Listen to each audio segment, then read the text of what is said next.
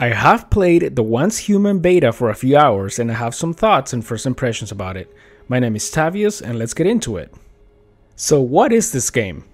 Once Human is an MMORPG open world survival game developed by NetEase and scheduled to release in the third quarter of 2024 on PC as a free to play game with a microtransaction store. The post apocalyptic, creepy setting puts you, a metahuman, into a world that has been ruined by the greed of the rich and powerful. Something called Stardust is the main cause. But how did the Stardust get here? Why is the Stardust turning humans into monsters?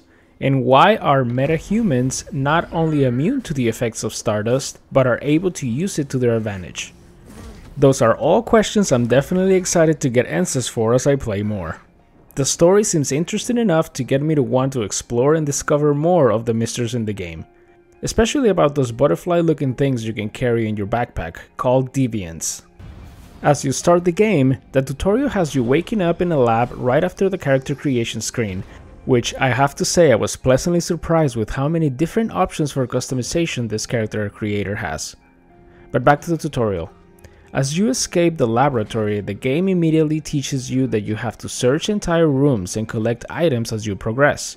It gives you your backpack that you will eventually use to carry deviants, the paper butterfly looking things, and you also meet some weird looking bird named V, who will become your companion and will serve as a guide to give you tips and information as you progress. Think of it as a ghost in Destiny 2. You immediately learn two abilities, Space-Time and Weapon Invigoration. Space-time allows you to see items and loot boxes around you so you don't miss anything, like the Witcher senses for those who played Witcher 3. Weapon Invigoration is another ability that enhances your weapon in combat for a short time with a cooldown of a few seconds. There are four icons on your screen that you must constantly keep an eye on, on top of your health.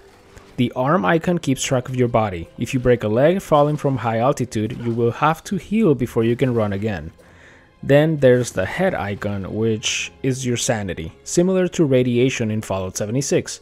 This tracks how sane or insane you are. Then there's the water drop, which is your thirst. You will constantly have to drink liquids to keep this up. And if you drink contaminated water, your sanity might be affected. The last one, the stomach, of course, is food. Food is essential to keep and even enhance strength and health for short periods. Later on in the game, you are introduced to cooking so you can prepare your meals for the day, but most meals spoil in 24 hours so you can't just make a ton of food and not worry about it again. Unless it is dehydrated food like fruits or beef jerky maybe? Initially, I thought having to worry about drinking water and eating was going to be annoying, but as I played more of the game, I don't mind it at all and actually learned to like it. I found some blueberry bushes and made me some blueberry juice for the day. Now let's talk about gathering, territory, and camps. To set up a camp, you just need some wood and rocks, and once you have this, you'll be able to craft a few items and even make a meal. But the game isn't very clear about where you should place your camp, so hopefully with the final release they add better instructions to set up your camp. Once you craft your pickaxe, it's pretty easy to go around gathering logs and gravel, but as you level up, different types of rock and wood will have you upgrading your pickaxe. So when placing your camp, you need to find an open spot away from other players' camps. And in my experience, that is pretty hard to do with so many players joining this game when I did. It took me a minute, but once I found a spot to place camp, then I was able to place my territory terminal, which marks the area that is yours to build your home base, and no other player can build there. Territory terminals need to be replenished with resources to keep your home base from decaying and eventually disappearing if you leave the game for a certain amount of time. You can also pick up your whole house from the terminal and move it if you found a better spot for your home base. But if building a home base isn't your thing, you don't have to as you will be able to go to friendly towns and use their crafting stations there. In my opinion, the gameplay loop is in a way similar to Fallout 76, The Division 2, and even Destiny 2. You can collect daily bounties from NPCs that will grant you XP and other rewards.